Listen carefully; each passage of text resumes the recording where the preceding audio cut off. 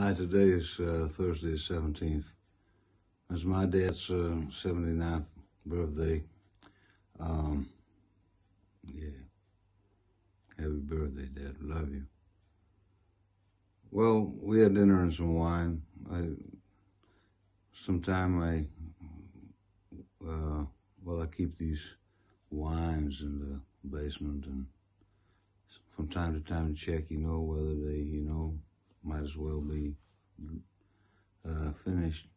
And then some time ago, I found some 2003 German wines in a box that I'd completely forgotten about, a white and a red.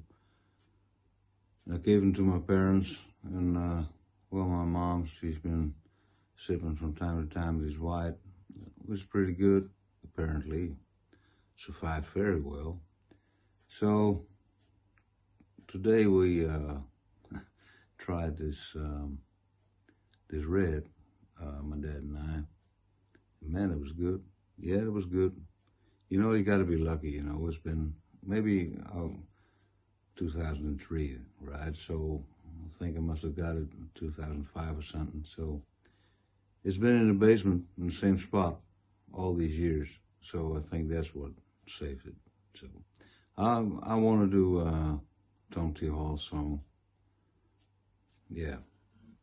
I think it's one of the songs my dad likes. Well, he likes a lot of country, so anyway, I like it too. This is uh, Tom T. Hall, Last of the Drifters. I first heard it on a uh, Johnny Cash uh, duet album uh, for Mercury, um, Water from the Wells of Home where he does covers with uh, Emmylou Harris, Roy Acuff, the Everly Brothers, Paul McCartney, um, T. Hall, his son, John Carter, some others, Waylon Jennings is on it. Uh, anyway, Hank Williams Jr.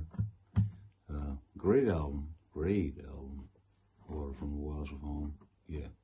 This is uh, Last of the Drifters. It's a T. Hall song. Hope I'm going to do it right.